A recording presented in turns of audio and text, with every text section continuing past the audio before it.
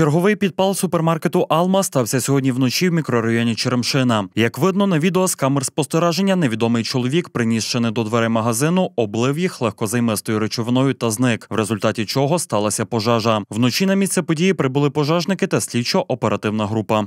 Вночі близько 2 години 50 хвилин до поліції надійшло повідомлення про займання вхідних дверей магазину у місті Мукачеві.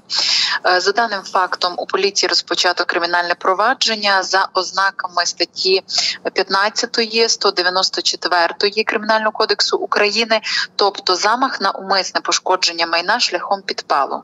Зараз поліцейські вживають усі заходи на встановлення осіб, причетних до вчинення злочину. Люди, які живуть в мікрорайоні Черемшина, кажуть, безпекою в місті надто стурбовані. Е, Прошлий раз запалили з тої сторони. Якщо б я пожарку не визвала, згорів би магазин, і нас би взорвало все. Потім тут е, були три поліцейські, стріляли.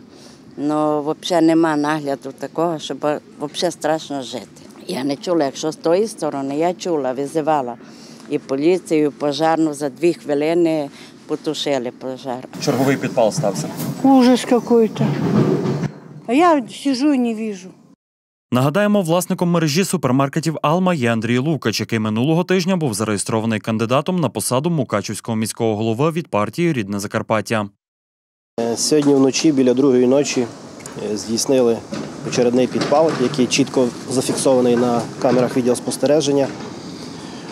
З незрозумілих для мене причин хочу нагадати, що це вже не вперше з нашою мережею.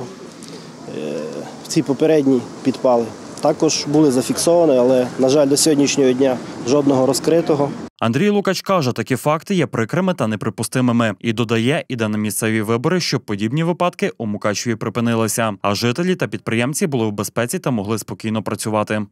Наразі причини невідомі. Так, е, по факту, е, на минулому тижні я був зареєстрований кандидатом на голову Мукачівської міської ради. Чи пов'язувати це з політичною діяльністю, не знаю. Чи можна при подібних ситуаціях говорити, що Мукачево є безпечним? Питання риторичне.